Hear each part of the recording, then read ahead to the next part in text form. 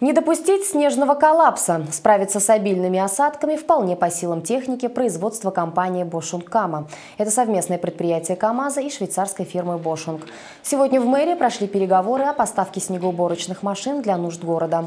Но прежде на площади Азатлык состоялась презентация спецтехники. Ее особенность в том, что каждую единицу можно в считанные часы переоборудовать под разные виды работ. Однако некоторых специалистов смутила цена продукции и риски, связанные с неблагоприятной международной обстановкой в отношении России. Но гости из Европы заверили, беспокоиться не о чем. Мы следим за этими санкциями, но так как мы располагаемся на территории Швейцарии, то нас это не касается. Тем более у нас локализация производства именно в России. Решение запустить совместное предприятие в Набережных Челнах было принято еще весной 2011 -го. И уже спустя всего лишь полгода по контракту в Казань было поставлено более полусотни снегоуборочных машин на шасси КАМАЗа. К слову, специалисты Бошункама подчеркивают, что коммунальная техника их производства универсальна. Ее можно использовать круглый год.